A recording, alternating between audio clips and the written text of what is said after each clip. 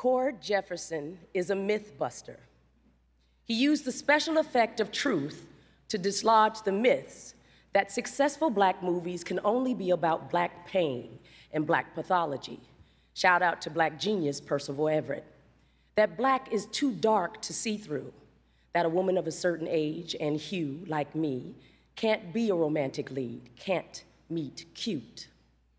Cord is a myth buster who has become something of a myth or legend himself. It's like in storytelling, where the hero, in order to slay the monster, must go into the inmost cave. The journey changes him. Cord, American fiction, is a masterpiece.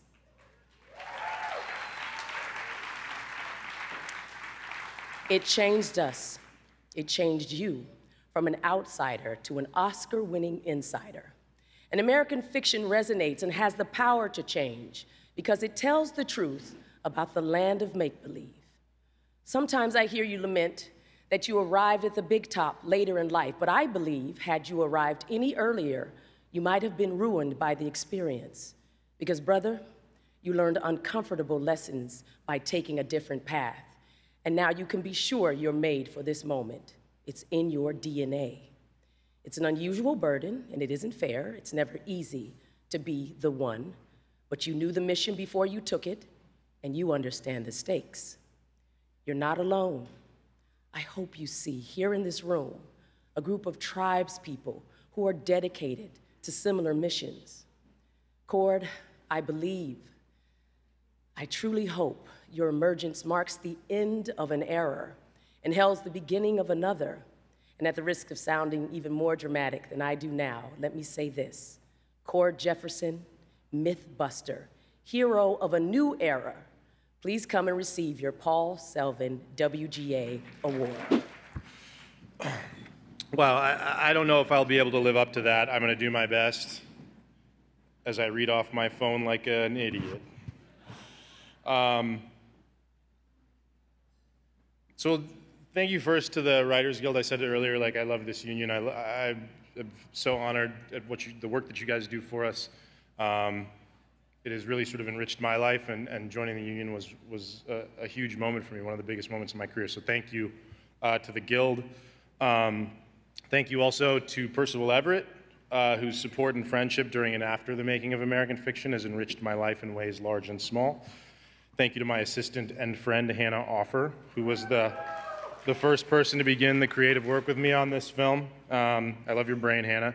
Uh, thank you to Jermaine Johnson, my manager, uh, my friend and my co-producer, for seeing a screenwriter in me before anyone else had seen a screenwriter in me, even myself. Thank you to Ben LeClair and Nikos Karamigios for choosing to make this movie with me despite the fact that the script made them feel afraid. We generally call people who throw themselves into their fears heroic, and you boys are certainly heroes of mine. Um, thank you to Louisa for loving me and helping me learn to love myself. Thanks to Laura Gordon, Pete Stein, and Ida Zanitti, and everyone at CAA. Thank you to everyone at T Street and MRC, including Rian Johnson, Ram Bergman, Johnny Golfman, Bry Adler. Thank you to everyone at MGM, Amazon, and Orion. Uh, for all your support. Thank you to my tremendous cast, including Erika Alexander. Erika, I have been a fan of your work. Yeah. I've been a fan of your work since I was 10 years old.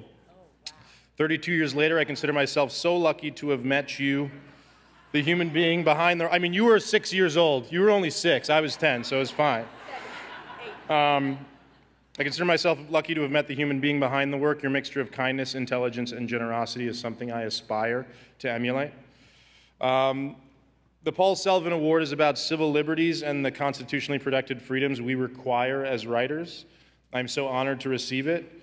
I believe uh, one of the themes of one of American fiction's main themes is what happens when people don't feel free to be themselves, the strange things we do to destroy and diminish ourselves in those circumstances.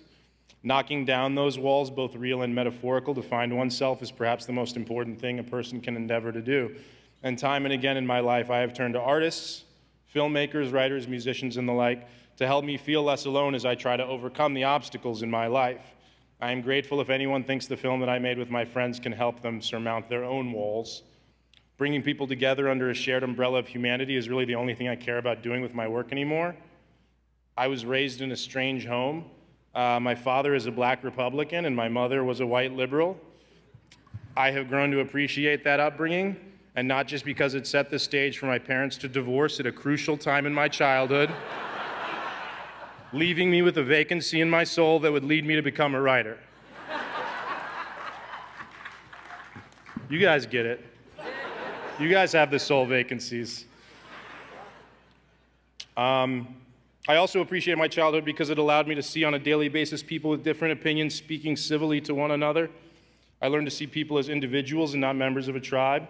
I learned that everyone is complex and unique, and you can no more capture the black experience with one black person in a room than you can understand the ocean by looking at a wave.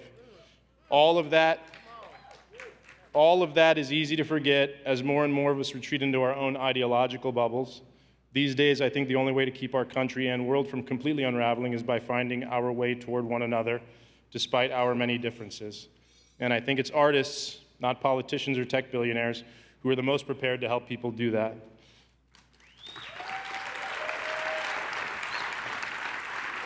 I, I feel a great respect for everyone in this room tonight. I'm honored to be among you, and uh, I thank you all for what you do to help knock down the walls. Thank you.